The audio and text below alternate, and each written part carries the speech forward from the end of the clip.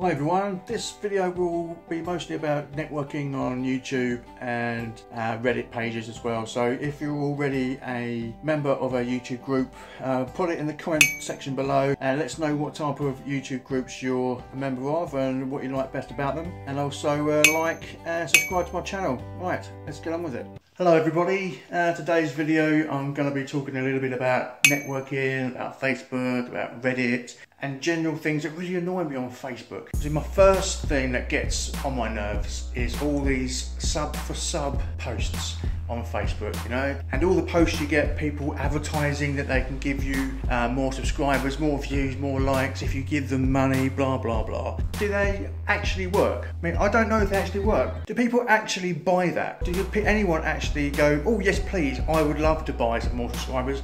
Here's my money. Now that I'm signed up to quite a few YouTube groups on Facebook. Every morning, my timeline now is just full of sub for sub or, or just random video posts. And to be honest, I haven't got time to sit there and watch all them videos. Do they actually work?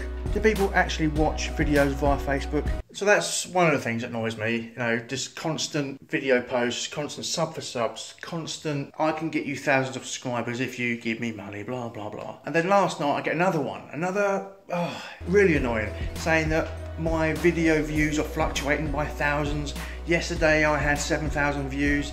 Day before that it went minus 6,000 views. None of my videos have thousands of views. Um, then I realised what he was trying to do. He was trying to make me go to a website that gives you statistics about your views. You know, it took me about 45 seconds to realise this, and then obviously I called him out on it. Tried to tell him my videos don't get that many amount of views, um, so I called him out on it, asked him for a screenshot. Yeah, he sent me a screenshot. The stats just didn't make sense. I had no idea what they meant. Um, and then someone else posted on the same thing about, yeah, he's also uh, contacted her and tried to do the same thing with her. And it's all a lot of rubbish, you know. And I looked at his profile. He's like a kid, you know, he's probably about 12 years old, you know, and, and he's obviously read somewhere that, you know, this is the way to make money by you know, trying to lie to people. Nothing worse than lying to people on Facebook. Well, nothing worse than trying to lie to people to get views and likes and subscribers. It's, uh, it's probably the worst thing to do. So anyway, what I've done is I've created a new Facebook group. It's called YouTube Vlogger Videos. Um, and what I will be doing will be banning anybody that posts sub for sub or buy thousands of subscribers or buy this, buy that. And we're banned within seconds. All right, it's no second chances. Post that sort of stuff, you're gone. My main aim for this group will be for people to actually comment and actually give constructive and honest opinions about videos. My ideal scenario is if you're going to post a video, great. But what I also want to see, I want to see people, I want to, know that people are actually watching them. Uh, make a community of people that actually watch each other's videos. So if you're going to post your video there, you know, to take the time to watch other people's videos, take the time to comment, take the time to interact with other YouTube users. Don't just go copy and paste your link and then off you go. You're probably members of, you know, 10, 20, 30 other YouTube groups, and that's all you do all day. I'm not actually sure it even works. I get most of my social media traffic via Reddit. Uh, Reddit is uh, very good, I think. If you can manage to post your videos to relevant Reddit groups, then you get much more views. I've, I found this out over the last like uh, four or five days. I recently done a video where I travelled to London, Victoria, and part of that video was a very, very short train journey montage. And what I, so what I did then, I just went onto Reddit and then searched for all the groups with trains or train journeys or train enthusiasts and then I just went onto YouTube and then what I did was I found the part where I start the train journey and then posted the link with that timestamp on it. So rather than people sitting through the first couple of minutes where I'm just doing this really, just talking, um, they're sent straight to the part where the train journey is. That is now my most viewed video um, because I posted it on relevant Reddit pages.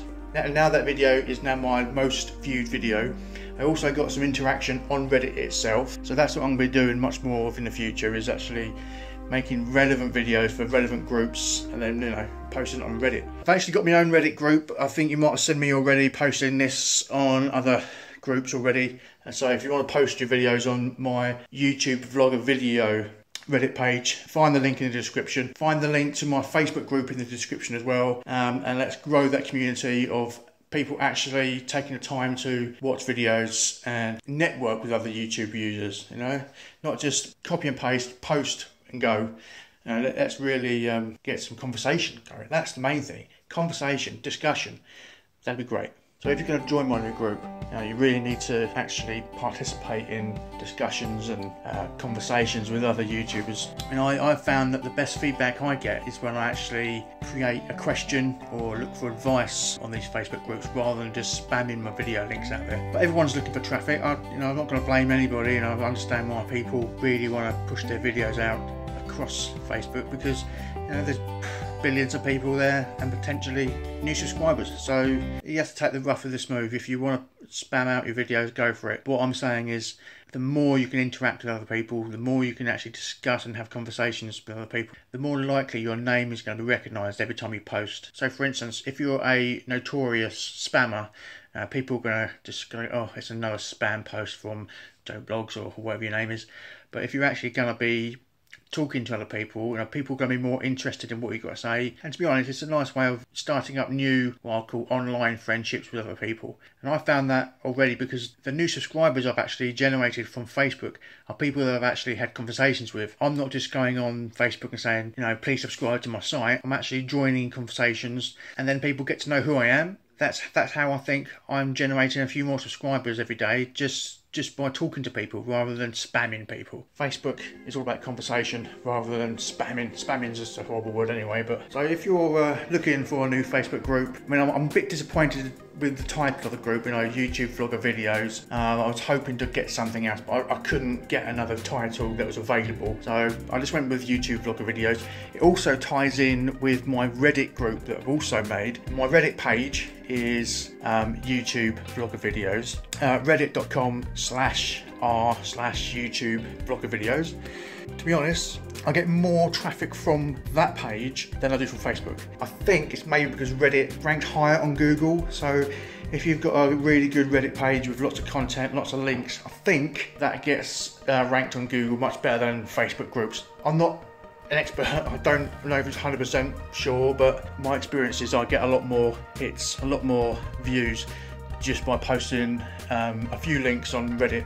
That works for me. I'm going to be doing that a few more times. I need to come up with some few more ideas about what I can actually post on. Uh, what else can I waffle on about? Um, so just bear in mind that I'm not claiming to be an expert. I'm by no means an expert. It's just stuff that I picked up from experience over know, the last month or so. So any more hints and tips that I can pick up, you know, the idea is to share it with everybody else. Now it's time for a few shout outs. I've just started following a few more smaller YouTube video creators. So I thought it's about time I uh, gave a little shout out. First one is Amber Howe. Her videos are all about beauty, fashion, and I can't read my own writing. Lifestyle, that's what that says. Um, beauty, fashion, and lifestyle vlogger. Number two, my shout out goes to Zara Mike. She describes herself as an average lady from Wales. Um, and she's just recording her life, I presume, so she can look back in 50 years' time and remember what she looked like in the days of YouTube video creating. And number three is a shout out to Reece Powell, who describes himself as an inspiring filmmaker. Yeah, good luck with the filmmaking, Reese. All the best with that, mate. Uh, I've, I've, watched one of your videos uh, in the past where you were talking about uh, creating the video yourself, so all the best with that, mate. That's, uh, that's a journey well worth taking. Okay, now it's time for the obvious. Please like my videos, please subscribe to my videos, and if you have anything to say to me, if you want to comment about my videos, then leave a comment below in the you know the comment section. Okay, that's it from me today. I'm hoping to get more videos up online very soon. All the best guys. Cheerio.